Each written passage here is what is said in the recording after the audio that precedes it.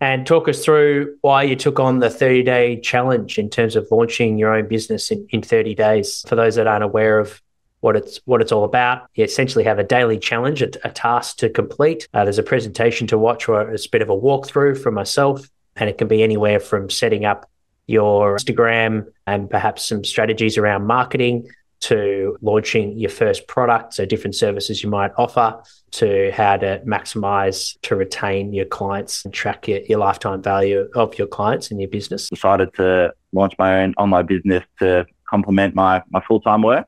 And having spoken to you, you'd mentioned that the 30 day challenge was an option. And I was really intrigued and interested because I knew what I wanted. I knew, knew that I wanted to have an online coaching business that sort of specialized in running and field sports and whatnot. But the, the nitty gritty, I guess, and the behind the scenes of how you set that all up, it was awesome to work with yourself and get some more information in that area. And what results did you specifically get over the 30 days?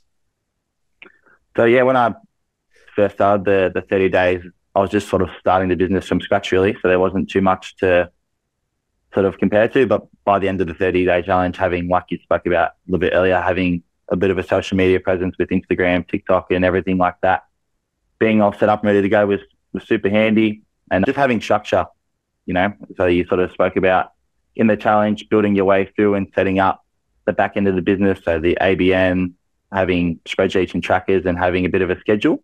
So going from knowing what I wanted to do and not really having much of a plan to working through the challenge and coming out the other side with a bit of structure was was super handy.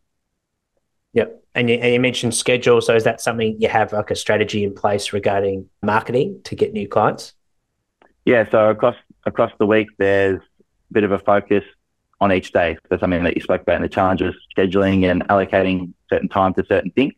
So I feel like something that can happen is that you want to do everything all at once and you have a big list of things you want to tick through and it can be quite overwhelming or feel like you've got a lot to do. So I found that personally, what worked really well for me was allocating certain days to certain things. So, like you said, it might be marketing earlier in the week where instead of trying to split your attention across all of the different areas, you're sort of honing in and focusing on one thing at a time and putting all of your, your energy into that. And that makes sure that, I guess, what you're delivering and the product ends up being a beneficiary of that.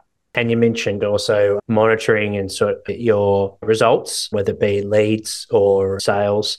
What's your current process in monitoring th- that type of data? Yeah, so using some of the advice from from the challenge, I've got a spreadsheet that tracks all of the leads that are coming in, what those leads turn into. So whether they are converted into a client, what they're interested in. It might be that they're after an individualized running program, gym program, whatever it is. It gives me some information about where they're currently at. And then you can that can sort of flow on month to month and you can see, all right, I've got X amount of leads in July, X amount of leads in August, and you can sort of track along and understand how the business is tracking from, uh, the back end. For the business at the moment, what's sort of your most important goals that you're focusing on both for yourself and in the business over the next three months? Yeah, so as I sort of sort of touched on before, helping the clients that I've currently got, like you, you sort of said, it's much easier to retain a client once you've got them rather than finding new ones. So I think making sure that I'm upskilling myself, so I'm becoming and I'm delivering the best possible service. Um, yeah, I think having a, mentor and having a good close circle and a good network is really important. So making sure as a coach and as a business owner, you're constantly improving so that your clients are possibly getting the best out of you is also important too. So yeah, I guess helping helping my current clients reach PBs, reach target times is really important to me. So that's going to be something I'll be focusing on directly in the next three months. How have you maintained that schedule with your workload? Is it something that you're posting once a week, twice a week? Talk us about the, yeah, I guess the the marketing side of things. So in terms of the, the schedule, I try and post something on just the story, the daily story that everyone can see once a day, just to stay present and in the in the minds of people, I guess. But then more that reels and more structured content, that's something that I'm trying to post once a week.